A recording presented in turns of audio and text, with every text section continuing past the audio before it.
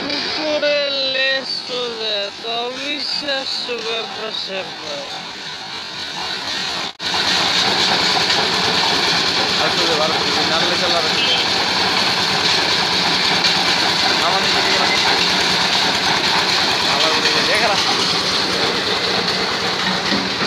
তার মানে প্রমাণ করে দেওয়া গেল যে কুত্তার লেজ কুত্তা ছাড়া কেউ সোজা করতে পারবো না আরে রিক্সা সর। আরে ভাই নে কুত্তা পাড়ার একটা এসে গেছে গা আরে ছবি দিলাম কি চলে ছবি কেটা আমাকে? ছবিকের অনেক অনেক অনেক কইছে ছবিকে ও গড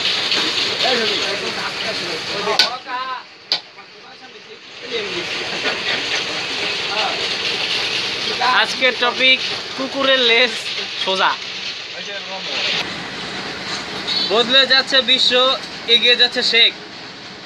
তার মানে অবশ্যই এই কুকুর শেখ সিগারেট খেয়েছে যার কারণে তার লেজ সোজা, বদলে গেছে বিশ্ব।